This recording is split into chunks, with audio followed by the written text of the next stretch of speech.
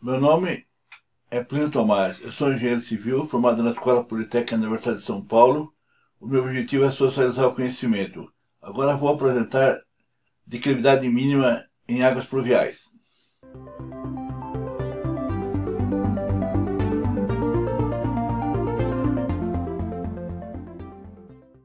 Vamos ver agora então a declividade mínima em tubos de águas pluviais.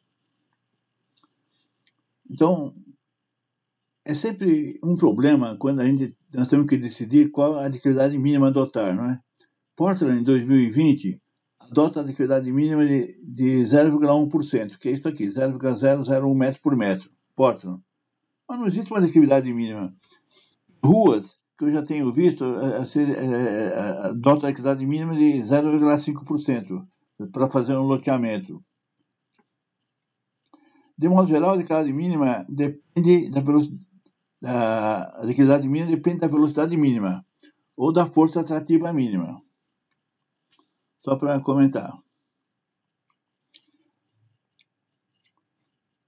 Esse aqui são, são é, é, um tubo circular e tem um ângulo central θ. Aqui tem para calcular o ângulo central aqui, né?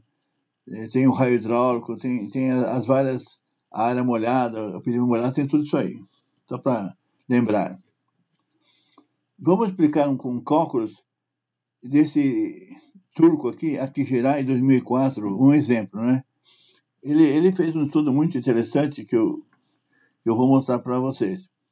Calcular a liquidez mínima para um tubo de 0,60 para vazão de 0,50, 50 litros por segundo, o N,0013 e velocidade mínima 0,90 metros por segundo, usando a equação de Akijirai, 2004.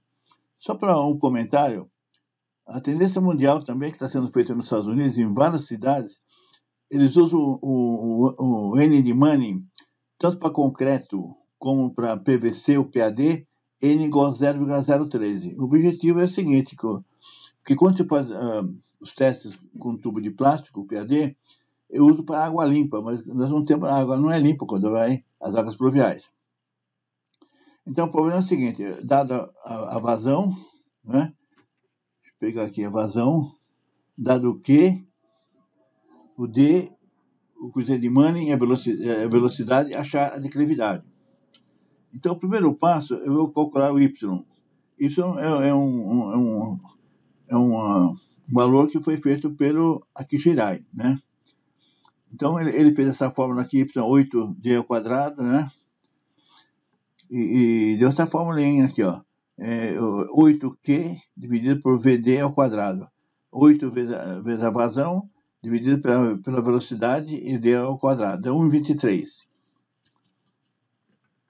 Segundo passo, é, cálculo da H sobre D. E com 1,7% de erro, aqui geral achou-se H sobre D. O Y sobre D é o H sobre D, como a gente fala. Tudo em função de Y. Ao cubo ele fez um polinômio aqui. Ele achou aqui o H igual 0,153. Terceiro passo, calcular o ângulo central, θ. O ângulo central é 2 a cosseno de 2H sobre D. Eu tenho todos esses dados. Achei o ângulo central 2,2 em radiano. Quarto passo, cálculo da área molhada A. A área é D ao quadrado sobre 8, θ menos seno de θ. Aí só fazendo os cálculos aqui, de 0,057 metros quadrados. Quinto passo, o raio hidráulico. O raio hidráulico é D sobre 4, teta menos seno de teta sobre teta. É só substituir, eu acho, o raio hidráulico. O sexto passo, que é o passo mais importante, que é a coisa que nós queremos mostrar, é o cálculo da eletricidade mínima, né? É 4 por 49 vezes D, N ao quadrado, o, o D elevado a 0,309 e o, e o V 2,827 dividido pelo Q. Então, é só substituir esses dados aqui, né? Eu substituir os dados e eu acho o valor declarado mínimo aqui, que deu 0,0054, que é 0,54%, que é maior que 0,01, que, que é 0,1%, que é adotado, por exemplo, em Portland, né? Então é uma coisa bem, bem simples se você quiser adotar esse, esse, esse, esse, cálculo. O sétimo passo, o cálculo da tensão atrativa, é gama RS, né?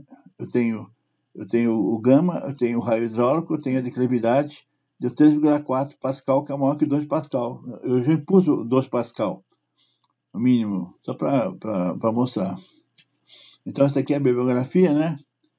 A simple formula for velocity, depth and slope, né? Calculation in partially circular pipe, da Turquia, do ano 2004. Então, muito obrigado. Meu nome é Plínio Tomás, como já falei. Eu tenho 54 livros digitais no meu site, pliniotomás.com. E quem quiser escrever para mim tem o meu e-mail, pliniotomás.gmail.com. Obrigado novamente.